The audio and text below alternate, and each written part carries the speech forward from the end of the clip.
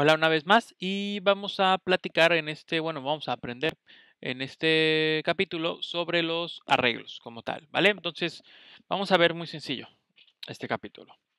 Vamos a crear un arreglo. Como tal, un arreglo no tenemos que ponerle pues, el tipo, no es necesario. Lo que hacemos es colocar el nombre, por ejemplo, un arreglo que sea, ¿qué nombre le ponemos? Que se llama estudiantes.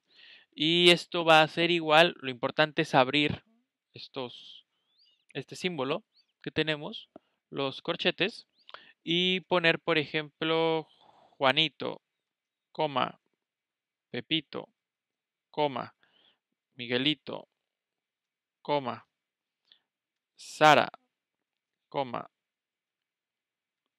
Luis, coma, Javier.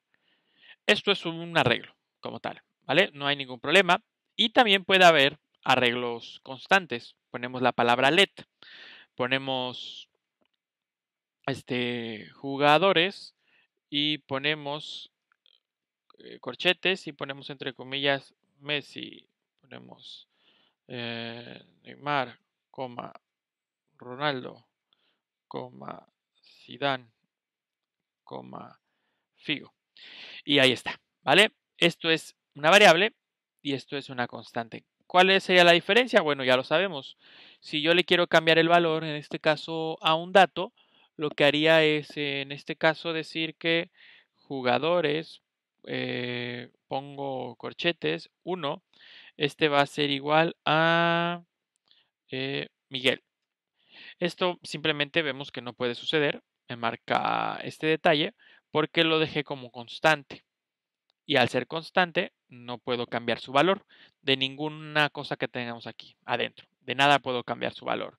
Pero la diferencia es que si esto fuera estudiantes, ponemos corchetes, 1, aquí sin ningún problema podemos cambiar el valor. Si yo mandara a imprimir aquí abajo estudiantes, pongo print estudiantes, podemos ver aquí abajo el resultado. Está Juanito, el segundo es Miguel, eh, cuando era Pepito, luego Miguelito, aquí está, ¿vale? ¿Y esto por qué se debe? Bueno, así como en C, o la mayoría de los lenguajes, se trabaja con la lógica cero. La lógica cero, ¿qué quiere decir? Que nuestro primer punto de partida es el cero.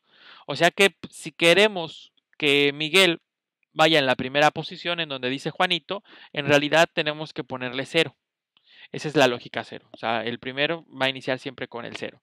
Cero en este la, 1 es 0, la 2 es 1 y así, ¿no? Entonces eso ya lo debemos de saber o de entender muy fácil porque, bueno, esto no es de Swift, es de casi cualquier lenguaje de programación derivado de C, ¿vale? Así trabajan los, la mayoría. Hay lenguajes donde puedes este, seleccionar tú que empieza a partir del 1, no, no, pasa nada, ¿vale? Entonces ya lo tenemos aquí, estamos arrancando a partir de la posición 0, le ponemos esto a Miguel, a este sí porque es un arreglo variable, el otro no porque no podemos, simplemente mm, no se debe, ¿vale? Entonces, esto es un arreglo, ¿vale? En el siguiente capítulo vemos cómo se puede hacer ciertos, agregar elementos y quitar elementos.